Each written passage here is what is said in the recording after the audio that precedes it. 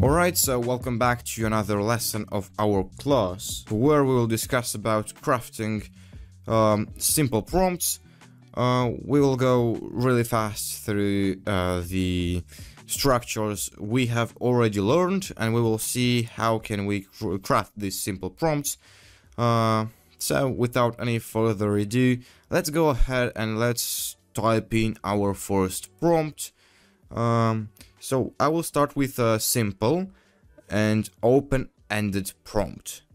Alright, uh, let me see what can I do here. So um, our open-ended simple prompt will look something like this.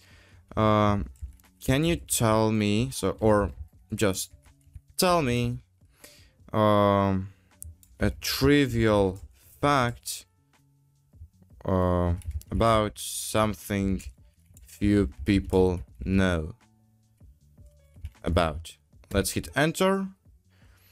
Did you know that honey never spoils? Archaeologists have discovered pots of honey in ancient Egyptian tombs that are over 3000 years old and it is still edible. Huh, interesting.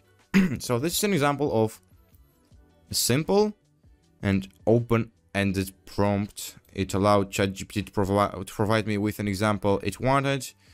Uh, let's go ahead and ask ChatGPT for something else. This time we will use a closed-ended simple prompt. Um, what is the capital of France? I will hit enter and I will get this answer. The capital of France is Paris.